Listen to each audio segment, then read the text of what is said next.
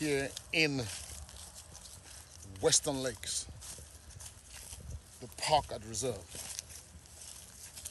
This is a huge, huge, huge community. Lots and lots of land. If you're looking for value, and if you're looking for a good ROI on your money, look no further. 2.2 tax rate here. And of course,